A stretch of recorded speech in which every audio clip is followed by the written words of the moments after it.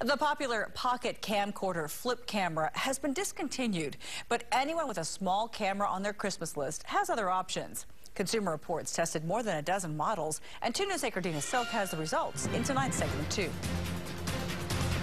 Zach Falch carries his flip pocket camcorder wherever he goes. He uploads his video adventures for all his friends to see. Look at all the ice.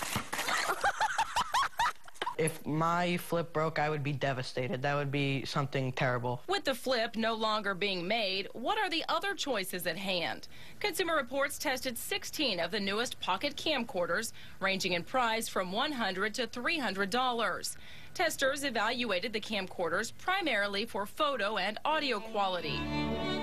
They also looked at how easy it is to upload content to social media sites. Audio and picture quality isn't going to be as good as the full-size camcorders, but some come with unique features that are worth checking out. The Sony Bloggie Duo has two LCD screens, one on the front and one on the back that lets you get great shots of yourself.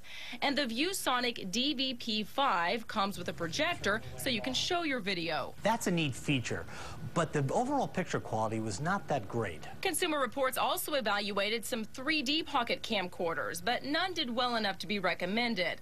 Then there's Kodak's PlaySport ZX5, which claims it's waterproof and shockproof.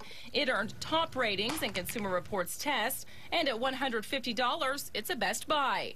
The Zoom Q3 HD also got top ratings. It's pricey at $300, but it has the best audio quality of all the pocket camcorders tested. Now be aware that pocket camcorders typically don't come with much memory. Consumer Reports says you'll want around 8 gigabytes. Adding that much will cost about $20. Both the recommended models are upgradable. Dina Silk, 2 News works for you.